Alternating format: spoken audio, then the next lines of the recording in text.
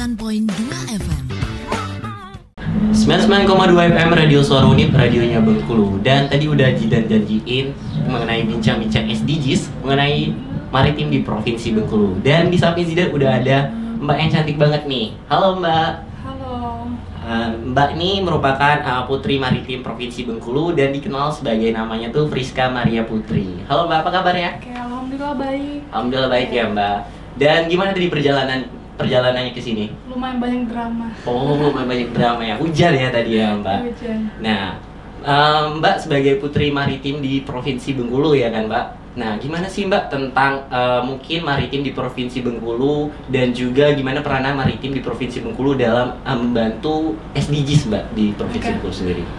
Uh, kalau kita bicara maritim, seperti yang kita tahu kan uh, wilayah maritim atau negara maritim itu disebut sebagai uh, kemaritiman gitu. Kalau suatu wilayah itu lebih banyak wilayah perairannya gitu kan Oh, lautnya. gitu ya. Kalau Indonesia disebut sebagai negara maritim karena emang itu tadi luas wilayah lainnya itu sangat luas. Sangat Kemudian luas. dikelilingi oleh pulau-pulau, makanya Indonesia disebut sebagai negara maritim.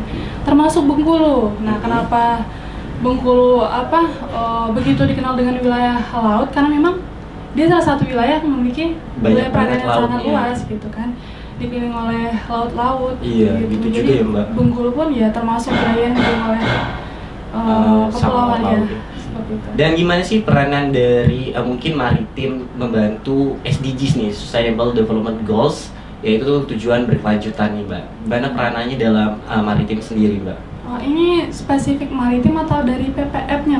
Eh, mus- mungkin lebih kayak Secara luas ya? secara luasnya Mbak. Kalau kita bahas SDGs itu kan mengutamakan tentang pembangunan sosial, ekonomi, dan lingkungan terutama ya. Iya Mbak. Tapi seperti yang kita tahu yang baru-baru ini terjadi, saya mendengar berita bahwa Kementerian Kelautan dan Perikanan itu menterinya yang Edi Prabowo itu sedang kena kasus kan Oh iya. mengenai itu eh, eksploitasi Iya. Eh, lobster kalau eksploitasi negeri. lobster. Nah, sedangkan kalau kita bicara ini pada masa pemerintahan Ibu Susi itu sangat di eh, apa di tidak dianjurkan karena mengapa lobster seperti yang kita tahu Mhm. sangat langka kalau kita eksploitasi itu artinya kita mengizinkan habitat di laut itu semakin berkurang. Iya. Nah, SDGs perannya itu tadi dia mengutamakan pembangunan sosial, ekonomi dan lingkungan kan yang terakhir. Nah, berarti dia sangat mendukung ter- mengenai upaya-upaya agar lingkungan kita itu tetap terjaga. Saya pikir begitu karena poin penting itu tiga tadi kan ada SDGs. Dia melihat pembangunan dari sisi sosial, Termasuk- ekonomi dan lingkungan tadi. termasuk kelautan juga mungkin ya Iya. Mbak. Nah, mungkin kita beralih ke Bengkulu nih Mbak. Nah, kita tahu kan posisi geografis Bengkulu tuh yang berada di pesisir barat Pulau Sumatera dengan panjang sampai 525 km kalau salah sampai pantainya tuh eh, garis pantainya terpanjang di Indonesia ya Mbak. Nah, gimana sih mengenai prospek industri eh, maritim di provinsi Bengkulu sendiri? Ah, seperti yang saya ketahui, kalau Bengkulu merupakan salah satu wilayah yang deng- dengan wilayah maritim yang sangat luas dan otomatis sumber daya kelautannya sangat luas juga kan, Iya, betul. sangat menjanjikan gitu, baik dari sektor perikanan tangkap, budidaya dan pengelolaan perikanan. Seperti yang saya baca dari yang saya baca, yang saya pelajari, kalau Bengkulu memiliki eh, potensi sangat luas di bidang itu ya harus dimanfaatkan dengan baik Mhm. kita sudah depan mata melihat kenyataan itu kan. Tinggal bagaimana pemerintah dan komunitas setempat untuk bisa bekerja sama. Jadi Seperti yang paling itu. penting eh, bangun kerjasama di Iya, antara pemerintah, pemerintah masyarakat dan juga uh, mungkin iya komitinya komitinya kan banyak dari masyarakat nelayan sendiri terus dari kita yang anak muda dan mungkin ambasadornya yang di dalam itu Oh, iya. Dan mungkin kita nanti bakal membahas sedikit nih tentang gimana sih peranan dari Putri Maritim di Provinsi Bengkulu dalam membantu peranan pembangunan maritim di Provinsi Bengkulu. Tapi selepas jeda ini tetap di 99,2 FM Radio Suara Unip, radionya Bengkulu. 99,2 FM Radio Suara Unip, radionya Bengkulu. Dan seperti janji Zidan tadi, kita di bincang-bincang SDGs berbicara mengenai maritim di Provinsi Bengkulu bersama dengan Friska Maria Putri, Putri Maritim Provinsi Bengkulu. Dan kita kepoin yuk tentang gimana sih eh, peranan mungkin dan apa aja yang udah dilakuin sama putri putra putra putri maritim dalam membantu pengembangan maritim di provinsi Bengkulu. Boleh Mbak cerita dulu gimana sih peranannya dalam membantu pengembangan maritim di provinsi Bengkulu? oke Eh, kebetulan PPM itu Putra Putri Maritim Provinsi Bengkulu baru sih baru tiga tahun ada di Bengkulu. Itu baru dilaksanakan tahun 2017 jadi masih baru banget. Nah kalau untuk kayak proker dan kegiatan dari naungan kita sendiri yang menaungi itu dinas pariwisata provinsi itu hanya sekedar sebagai pelopor untuk kegiatan daerah Oh, saja. aja ya, Nah, kayak misalnya ada acara daerah, ulang tahun provinsi dan nyambut tamu itu hanya itu tugas kita dari yang menaungi kita. Namun balik lagi ke forum pasti kita punya program kerja yang harus kita laksanakan dari mulai 2017 hingga sekarang. Namun untuk sekarang sementara memang seperti pasif sih karena memang keadaan Karena Ya. COVID juga ya, Ya. Mbak. Nah, dari tahun 2017 eh, hingga sekarang itu kita aktif untuk berkolaborasi bareng anak-anak muda di Bengkulu kayak Forum Pemuda Peduli Bengkulu gitu kan, Mhm. rutin untuk eh, kegiatan bersih-bersih pantai misalnya. Terus pelepasan penyu di pantai dan bareng angkatan laut juga. Kebetulan pembina kita itu dari angkatan laut. Oh, pembinanya Ya. langsung dari Angkatan Laut ya, Mbak? Ya, karena di nasional pun Putra Putri Maritim Indonesia itu yang memang mendirikan pagi paguyuban itu dari angkatan laut, kalau besar angkatan laut. Dari Dan ket- ya ketika balik ke provinsi itu yang memang uh, mengeluarkan dana untuk kegiatan memang dinas pariwisata. Cuma pembinanya memang dari angkatan laut gitu kan. Dan dinas kelautan juga yang ikut uh, bergabung bersama kita, yang ada unsur maritimnya. Nah di sana kita aktif untuk melakukan kegiatan bersih-bersih Bersih-bersih pantai, misalnya seperti itu sederhananya. Kemudian uh, pelepasan penyu. Kemudian kita juga pernah itu di nasional. Kebetulan saya juga duta maritim Indonesia Mhm. dari 2018. Ketika di nasional itu pemilihan 2020 kan tercancel. Iya. Jadi ketika 2019 kemarin uh, ada pengganti kegiatan di nasional itu kayak diadain uh, Conference on Indonesian Maritime Affairs kayak seminar Mhm. mengundang anak- anak-anak muda yang seminar dan diisi oleh orang-orang yang memang pro di bidang itu dari kemaritimannya baik itu dari uh, Dari- dosen Unhan itu kan seperti yang kita tahu Bapak Octavian beliau angkatan laut dari Rektor Universitas Pertahanan. Kemudian ada dari Kementerian uh, Kemaritiman gitu kan diundang di sana untuk uh, mengisi kegiatan-kegiatan yang memang materinya pun mengenai kemaritiman gitu. Itu untuk di nasionalnya. Kalau di Bengkulu kita lebih fokus untuk kegiatan itu tadi. Oh, pelepasan Ya, penyu, bersih-bersih pantai. Ya, dan untuk di luar kegiatan itu 2019 tepatnya awal tahun kemarin kita udah buat program baru. Apa tuh, itu tapi udah kita susun, tapi terkendala karena keadaan tadi kita udah mau audiensi bareng teman-teman yang lain ke Bapak Gubernur Iya. sampai sekarang udah PRT ya. Heeh. belum kesampaian eh, apa audiensinya. Akhirnya eh, proposal yang kita buat itu masih kita simpan baik-baik aja baru kita sampaikan ke pembina kita di angkatan laut. Nah kita punya program namanya program kerjanya si survival gitu. Jadi SDM yang ada di PPM itu nggak hanya pinter mempromosikan lewat ucapan aja gitu. Tapi dari kemampuan dirinya juga punya kemampuan. Kayak gimana kita bisa bertahan di laut? Ketika sedang darurat di laut apa yang harus kita lakukan gitu kan? Itu namanya si survival kali di dalam angkatan laut. Kemudian kita waktu itu udah ini Udah apa tuh, Mbak? memberdayakan kayak ini mem- mem- eh, memanfaatkan salah satu jenis buah mangrove jenis pidada itu memang sudah bisa dimanfaatkan untuk dikonsumsi nah PPM udah pernah melakukan itu untuk Konsumsi langsung. enggak itu tapi diproduksi diproduksi dulu Oh, jadi diproduksi sirup dodol Mhm. Nah, kayak kita waktu itu baru nyoba untuk dijadiin sirup Oh, baru jadiin sirup. Ya terbatas dengan uh, sumber daya alamnya. Pidada di Bengkulu itu masih sangat sedikit. Oh. Jadi kita terkendala hanya sebatas baru praktek untuk kita sendiri aja. Itu proker yang kedua. Kemudian ada juga ini sih uh, pemanfaatan apa kayak pelestarian ini sih. Penanaman mangrove iya. Oh, penanaman mangrove, Selain ya. kita mau memproduksi kita tuh kita juga menanam Oh, menanam itu mangrove, lahan ya. kita sendiri atas nama Putra Putri Maritim. Oh boleh tuh mbak, misalnya kan kerja sama sama SDGs karena beberapa poin yang mbak mungkin sampaikan tadi itu tuh kayak ada juga menjurus ke SDGs-nya mbak. Sih. Nah boleh tuh nanti putra putri maritim uh, kerja sama sama SDGs boleh dihubungi mbak, eh bang Yoginya. Nah. Oke. Nah, dan juga mungkin Mbak boleh cerita sedikit nih. Eh, tadi kan udah cerita gimana eh, pengalaman jadi putra putri maritim dan project project apa aja yang udah dilakuin nih. Ketika Mbak melangsungkan project-project tersebut dan permasalahan apa aja sih yang dihadapi sama maritim di provinsi Bengkulu? Oke. Eh, mungkin salah satu hal yang lumrah terjadi ketika ambasador laut gitu, Iya. icon di daerah sudah melaksanakan tugasnya dengan semaksimal mungkin, pasti ada aja image di tengah masyarakat yang tetap menganggap apa sih tugas duta wisata gitu kan. Uh-huh. Kebetulan kan di dinas pariwisata provinsi itu di, menaungi tiga duta, Iya. Mbak. Bujang Gadis, Putpar, sama PPM. Jadi kita sering menemukan permasalahan di situ sih Mhm. kita di belakang itu walaupun udah berupaya dengan maksimal kita menjalankan program kita ada aja image di tengah tengah masyarakat yang tetap menganggap kita belum melakukan apa pun Jadi itu salah satu ya? permasalahan iya tapi sebenarnya nggak usah terlalu diperdulikan sih karena sebaik apa pun kita semaksimal apa pun usaha kita akan tetap ada image buruk itu tadi jadi ada image tapi tetap buruk itu ya. sih permasalahan yang terjadi di masyarakat banyak banget orang-orang yang menyerang entah siapa pun itu mikirnya apa sih tugas kalian gitu kan itu pan- pantai-pantai itu masih banyak sampahnya Oh, gitu jadi kan. lebih menjurus ke pantai-pantai Iya, aja ya, Mbak? Iya, kita kan banyak di wilayah pesisir ya. Iya, betul banget. Lagian siapa yang mau katanya berkunjung kalau sampahnya begini, tugas kalian itu apa gitu kan? Kita sebagai duta gitu kan, ikonnya di daerah juga nggak bisa community kita yang bekerja, sendiri, Iya. perlu kol- kolaborasi dari orang lain, orang luar juga gitu. Jadi itu permasalahan yang dahulu dan mungkin kita bisa bincang lagi setelah segmen selanjutnya tentang bagaimana sih peran atau gimana meningkatkan pemuda-pemuda untuk berperan aktif dalam maritim di Provinsi Bengkulu.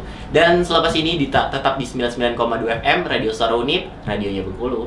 Suara Unip, radionya Bengkulu. Halo KMB Bengkulu, selamat siang. Dan kita masih bahas tentang bincang-bincang SDGs seputar tentang maritim di Provinsi Bengkulu.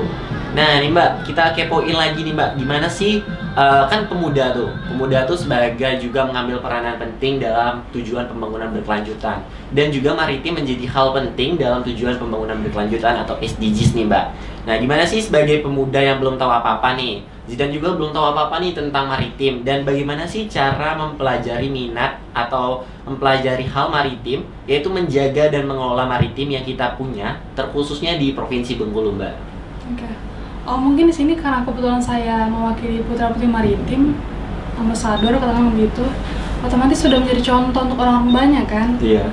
Jadi mungkin dari saya pribadi karena saya mewakili putra putri maritim, eh, gimana kita bisa menyuarakan apa yang sudah kita rancang itu di tengah masyarakat gitu kan. Eh, secara persuasif mengajak mereka bahwa ayo bukan hanya kami aja yang bertanggung jawab tapi kita semua gitu. Menarik perhatian mereka dengan eh, membicarakan bersama tentang program kerja yang sudah kami canangkan gaungkan gitu di tengah-tengah mereka.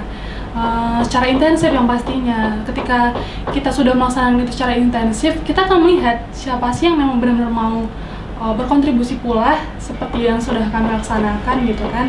Ya itu sih yang harus kita lakukan. Oh, Jadi kita harus uh, kembali lagi ke program ya Mbak. Gimana cara kita pemuda melihat program tersebut dan menumbuhkan minatnya.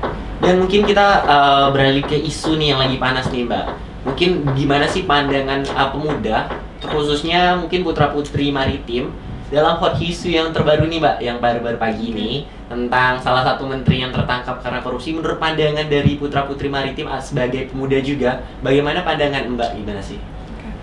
Oh, kalau kita bicara korupsi, nggak ada yang setuju tentang itu kan, karena merugikan yang masyarakat Indonesia gitu. Nah, kebetulan berita itu baru saya dengar tadi pagi. Iya iya. Ya, Mhm. Pak Edi Prabowo ter- tertangkap kasus mengenai eksploitasi eh, lobster benih lobster di luar Iya. negeri. Nah, kalau kita nggak ngebandingin sih, tapi kita bisa ngelihat dong mana yang memang pro ke masyarakat dan yang Hmm. enggak gitu kan. Nah, saya pribadi berpikir kalau kita eh, kaitkan dengan SDGs yang tadi mengutamakan pembangunan dari tiga aspek seperti sosial, ekonomi dan masyarakat, saya lebih pro ke pemerintahannya Ibu Susi. Ini mohon maaf ya. Iya. Karena kalau kita bi- eh, melihat ini bicara mengenai benih lobster, seperti yang kita tahu, lobster itu adalah hewan yang langka gitu, Mhm. yang sangat langka. Kalau misalnya ini terus dieksploitasi, itu artinya kita mengizinkan habitat di laut itu berkurang gitu kan.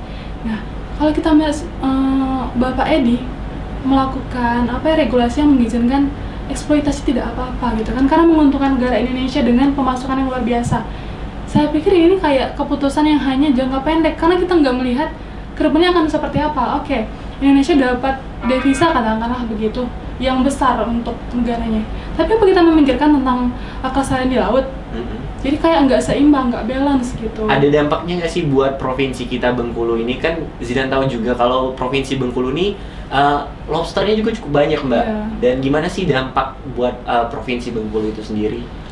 ya itu sih jadi ekosistem laut yang ada di Bengkulu juga salah satunya jadi nggak seimbang gitu kan Jadi nggak seimbang ya, Iya. Mbak? Nah juga uh, mungkin uh, banyak juga nih mbak yang di provinsi Bengkulu itu sendiri kan mengenai uh, permasalahannya salah satunya itu kan bibit lobster kan. Iya. Nah permasalahan lagi yang muncul di provinsi Bengkulu nih ketika mungkin ini nih mbak uh, banyak banget nih eh, kan sumber daya alam laut di provinsi Bengkulu luas banget banyak banget ikan-ikan, lobster dan cumi-cumi segala macamnya.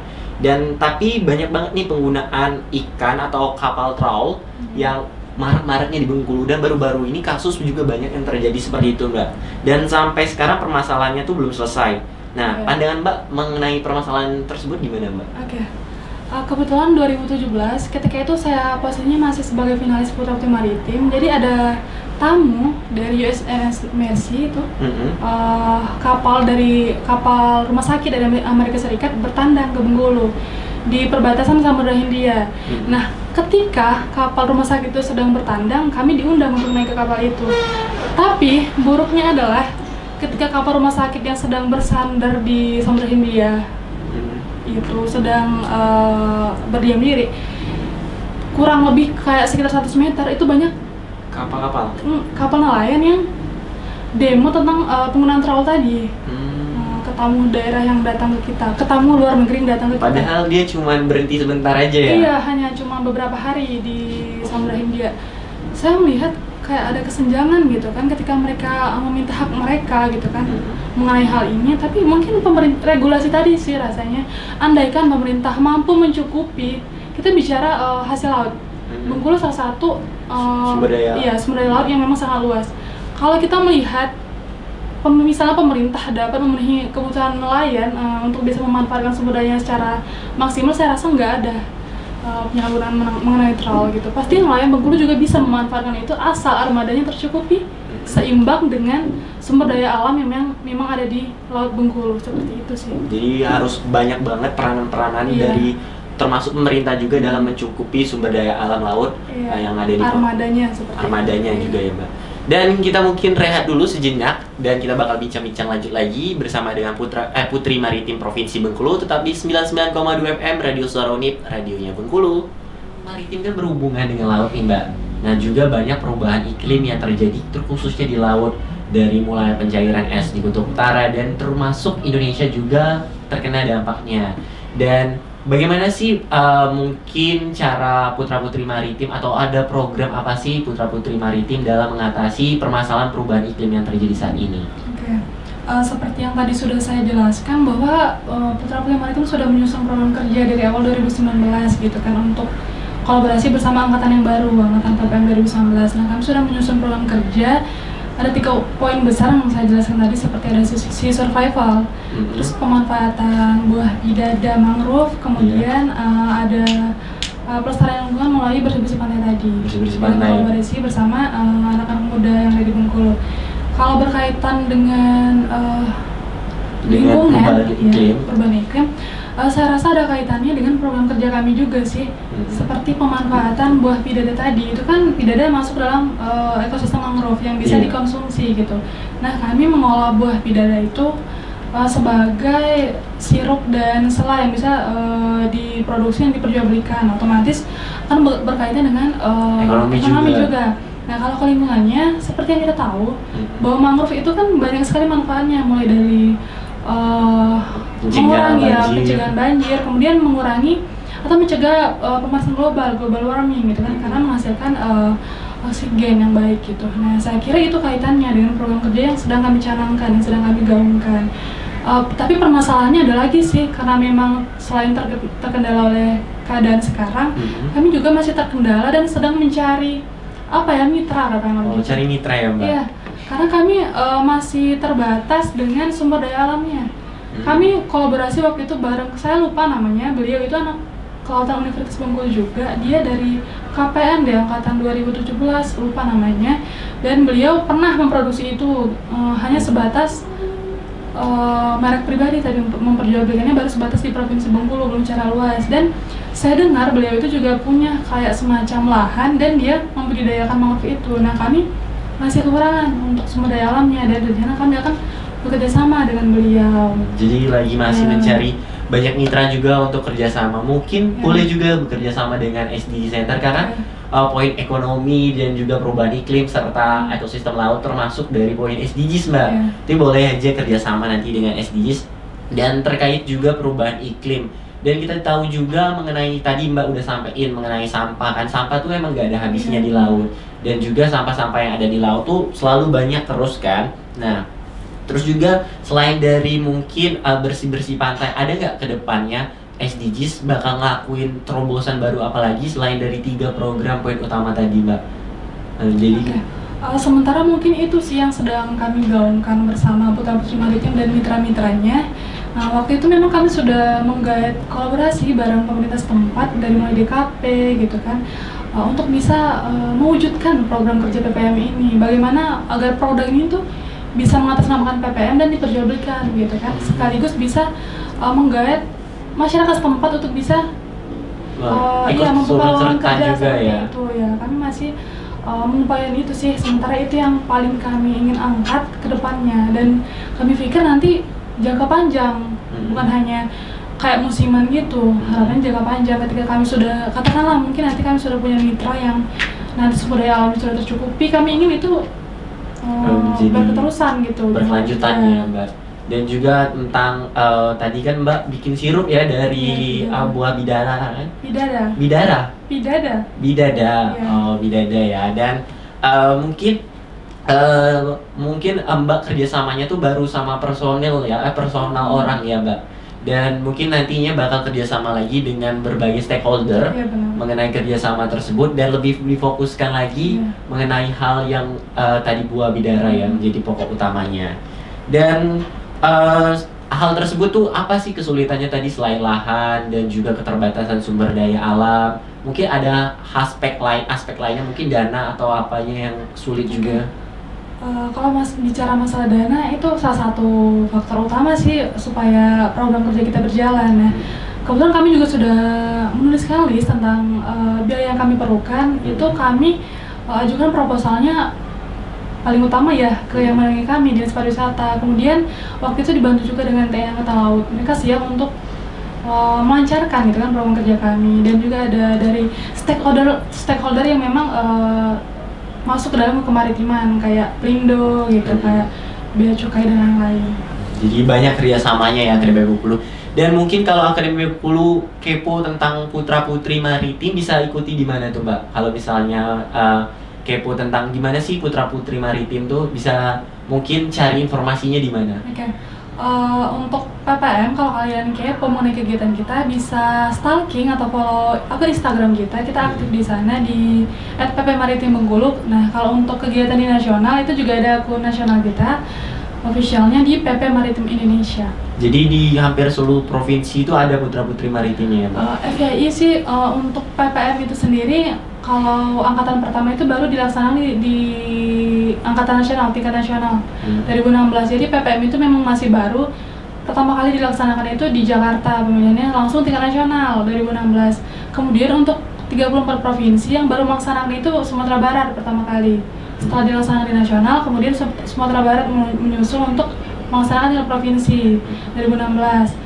Kemudian barulah Bengkulu 2017-nya disusul lagi oleh Provinsi Sulsel. Jadi baru tiga provinsi ini yang melaksanakan pemilihan tingkat provinsi. Nah, kalau ada anak-anak muda di provinsi lain yang ingin mendaftarkan selain tiga provinsi tadi, dia harus mendaftarkan diri secara eh, pribadi gitu, nggak lewat naungan.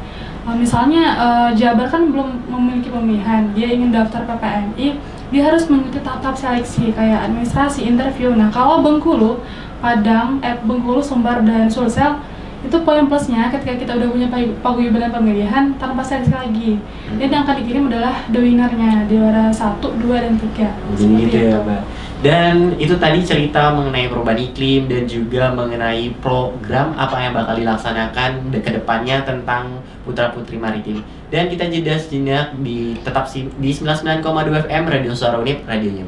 99,2 FM Radio Sarunip radionya Bengkulu. Dan kita udah di ujung segmen nih udah terakhir aja nih dan mungkin ada pesan atau penyampaian-penyampaian buat pemuda-pemudi mengenai tentang uh, maritim di Provinsi Bengkulu dan ngejaganya gimana sih dan juga dalam membangun uh, peran maritim di SDGs sendiri Mbak gimana sih Mbak Oke. pesan-pesannya? Eh, mungkin pesan dari saya pribadi untuk Akademi Bengkulu ya, Mm-mm. dan untuk Putra Putri Bengkulu, eh, saya pikir kita sebagai anak muda harus peka.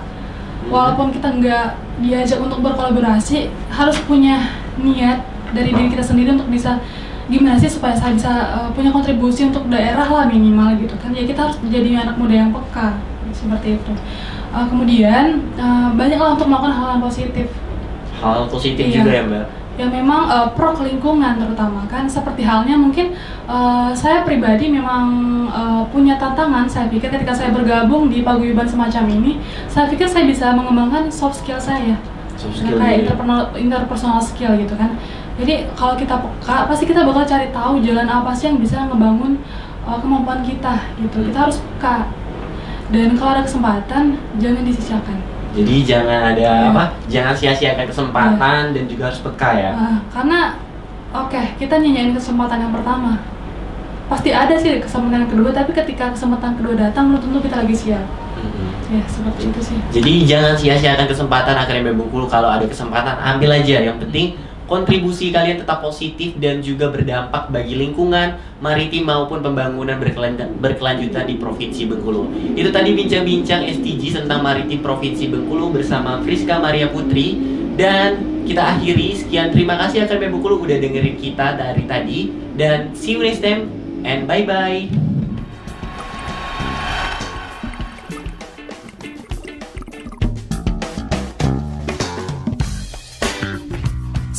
Sembilan sembilan poin dua FM